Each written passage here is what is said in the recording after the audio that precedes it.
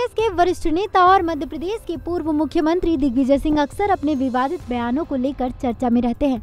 हाल ही में दिग्विजय सिंह एक विवादित बयान के लिए सुर्खियों में छाए हुए हैं, जिसमें उन्होंने कहा है कि मुसलमानों से ज़्यादा गैर मुसलमान आईएसआई के लिए जासूसी कर रहे हैं।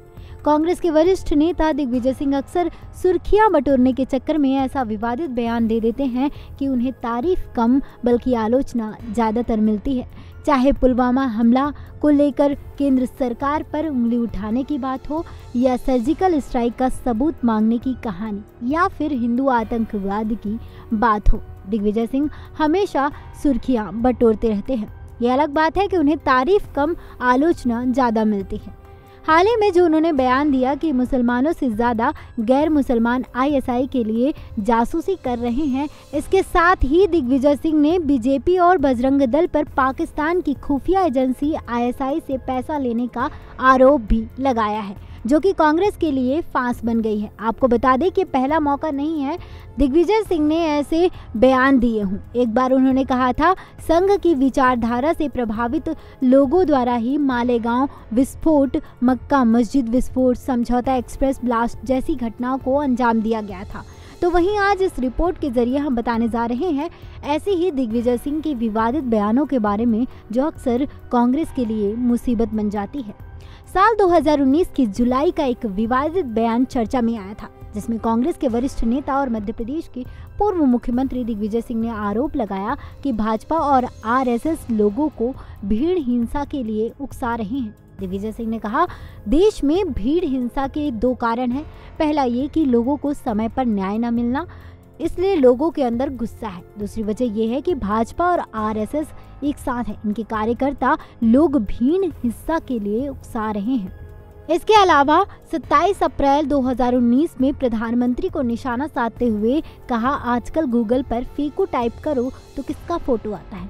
भोपाल में आयोजित कार्यक्रम के दौरान दिग्विजय सिंह ने कहा कि विश्व में इनकी शोहरत इस बात से है कि इनसे झूठा प्रधानमंत्री किसी देश का नहीं है। इतना झूठ बोलते हैं। तो वहीं 23 अप्रैल साल 2019 में मुंबई हमले में शहीद हेमंत करकरे पर बीजेपी प्रत्याशी साध्वी प्रज्ञा के विवादित बयान पर कांग्रेस प्रत्याशी दिग्विजय सिंह ने कहा कि जो संघ की मर्ज़ी के खिलाफ बोले, वो देशद्रोही है। भारत के शहीद भी अगर संघ को पसंद नहीं तो वो शैतान है।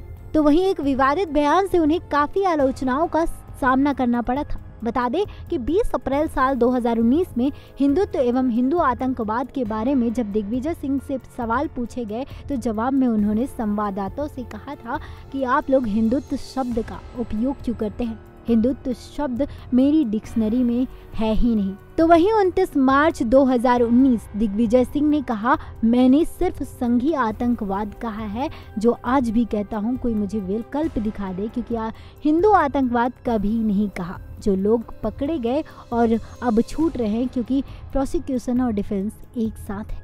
तो वही 15 फरवरी 2019 पुलवामा आतंकी हमले पर दिग्विजय सिंह ने एक विवादित बयान ट्वीट किया था।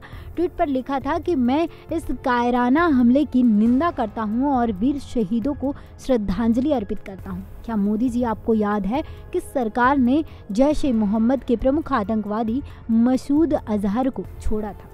आतंकवादी से समझौता करना किसी भी परिस्थिति में उचित नहीं है। तो वहीं बात है 18 जून 2018 की। दिग्विजय सिंह का बयान, जितने भी हिंदू धर्म वाले आतंकवादी पकड़े गए हैं, सब संघ के कार्यकर्ता रहे हैं।